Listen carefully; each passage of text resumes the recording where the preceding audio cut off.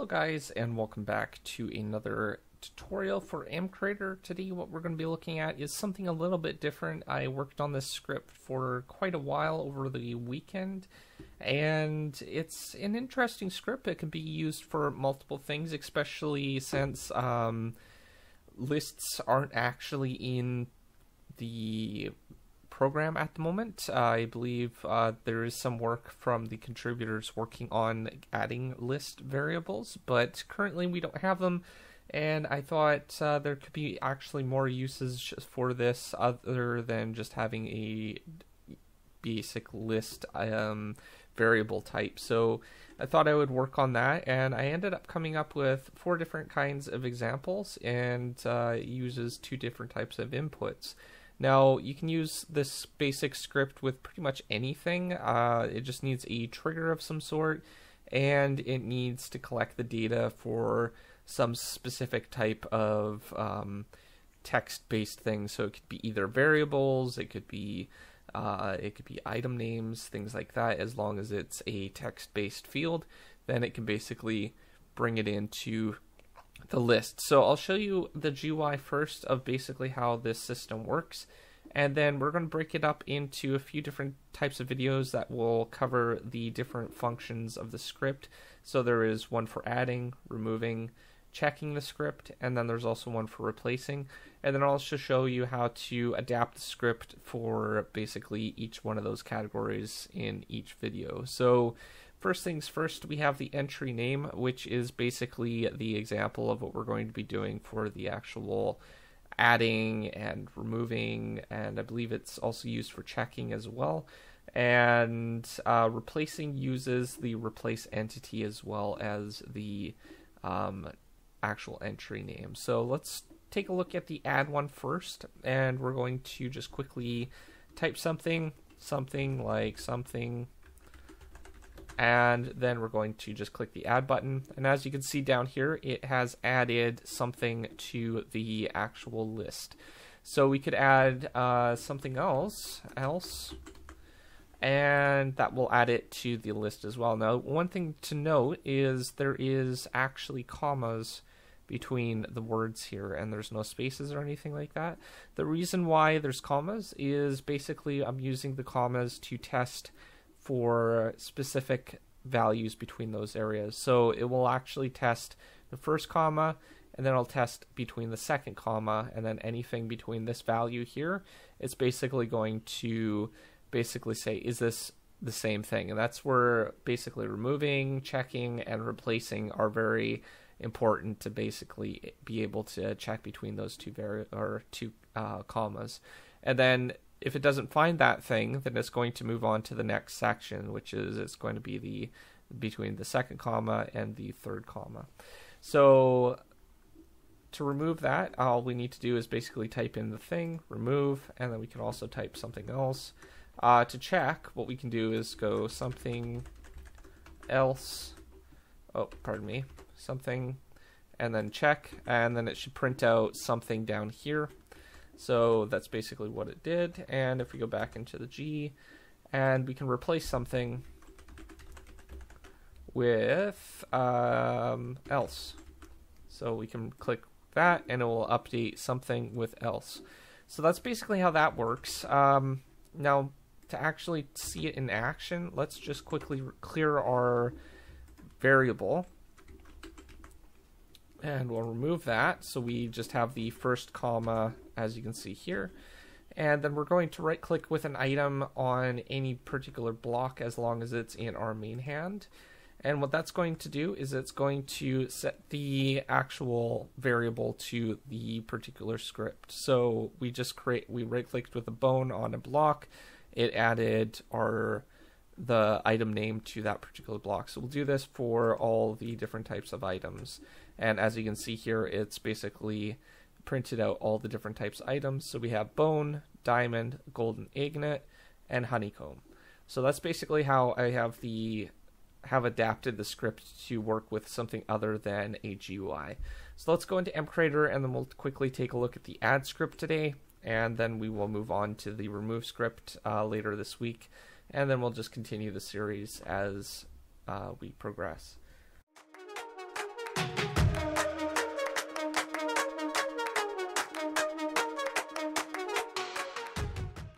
Alright, so there's uh, multiple parts of this component uh, that we'll be actually looking at today, but we're going to be focusing mainly on the adding function of the script. I'll break it up into other parts for the other parts of the procedures for testing for the place and all the other stuff as well.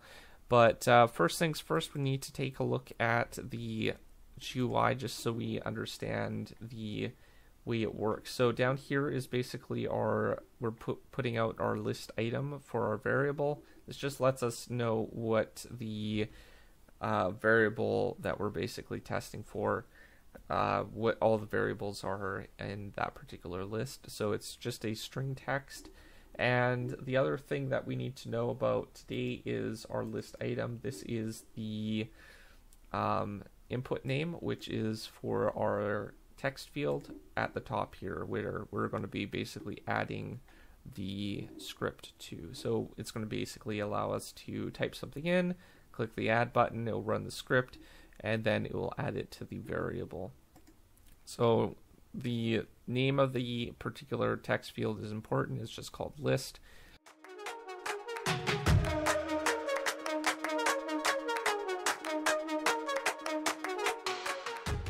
So if we go back to our procedures, and we'll take a look at the script for just generally adding things with the GUI. So it's this script right here, add uh, list entry script. And I'll break down what's going on here. So the first thing that we have is we have one variable. If we go to global variables, we have a list name, and then we have the string for the type of variable. It's set for the global world. However, it can be for any global type of thing. And then we also have the comma or our default character for basically spacing out the words between. So you can use uh, any character. It's just it should be something that won't interfere with other list items. So commas aren't generally used too much in Minecraft for names and stuff like that. So that would work fine. Uh, you can also use a backslash. That's a pretty safe character to usually use. So those are a couple options if you need to use characters or commas instead of. Um, if you need to use commas, you can always use a backslash for your default character. Just one thing to note is it does have to be set as a default character for your first character. Outside of that, uh, there is the add script. So we have two local variables. We have the has character and substring position. So the substring position is a number variable, has character is a logic variable. Uh, to create those, you just use the uh, local variable editor and create the variables that you need. The first thing that we're doing is we're going to set the substring position to zero. Now this makes sure that it is set to the very first character in the substring position. So uh, how substrings work is starts at zero and then it counts up to the amount of characters basically used. So what we're doing after that is we're going to get the list uh, item for the text field and we're going to get the amount, a number of characters in that particular text field. So we're going to test, basically run the repeater, the amount of characters that we have in the list text field after which it's basically going to test for our default character, which is our comma again. If you change it, this needs to also be changed. And we're going to test for a substring or substring of the list text field. And then we're going to get the position from zero by default. And then it's going to test for our zero plus one so that will be 1 in the first round that it tests for. Now, if it finds a comma, then what it's going to do is it's going to cancel out the has character. It's going to set that to false. And then what it's going to do is break out the loop, so it basically doesn't continue any further. Uh, if it does not find a comma, then it's going to just um, continue this script and says has character. Now, what basically is going on after that is it's basically increasing the substring position plus substring or equal to substring position plus 1. So basically this number 0 becomes 1, this becomes 2 because it's plus 1 of the default substring position. So then it's going to test for the next character in the amount of characters that it basically runs from. So this will continue to count up, and if it does find a character of the same type, then it's going to basically cancel that completely out, and it won't run the script down here to add the character or the word that we're basically adding to the list. So if it does find the does not find any characters, then what we're doing is we're going to uh, test for two things. We're going to test if not, so basically if there isn't a list item and it's blank. So if it's not blank, it, if it has no spaces, then what we're going to do is we're going to also test for has character true, which again, remember that it basically should return true if there is no character. And what this will do is it'll basically go, okay, both of these conditions are true. It does not have uh, any blank spaces. Well, not blank spaces, but it's not a blank space.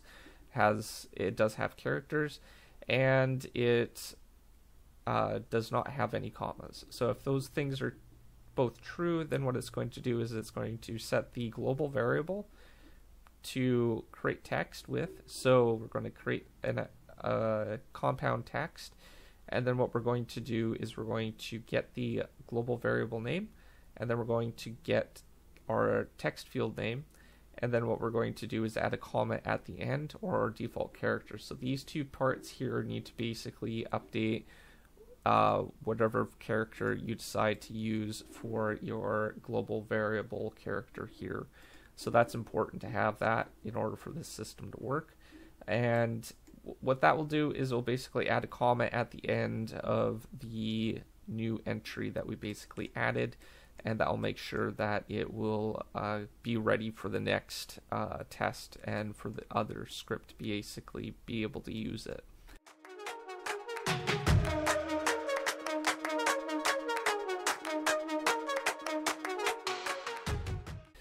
So let's take a look at how I've basically configured the other script for basically right clicking on.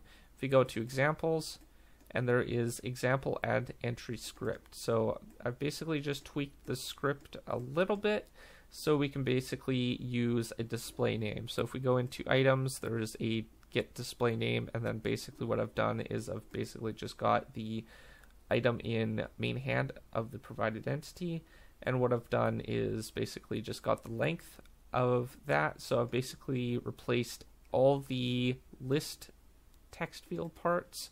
So again, if we go back to the entry, you can see all these parts right here, here, here, and here are replaced with these parts right here. So get display name of item in item in main hand of provided entity and we have these parts right here. So that's the only thing that you need to change to adapt your script to support different types of things other than a text field. Uh, you could use variables, you could add anything that is a string based thing, and you could just update these parts right here. So, again, if you are changing the comma, then the comma needs to have these two characters updated. But other than that, that's the only thing that basically makes the script add to the global variable. Uh, next tutorial, we'll be covering how the remove script works and how it basically can be used with uh, our similar system that we have with the right click ent entry for our display item of the item in the main hand. So we'll be covering that uh, later this week. If you're new to my channel, don't forget to subscribe, comment down below, rate the video, and I'll see you guys next time. Thanks for watching. Peace out.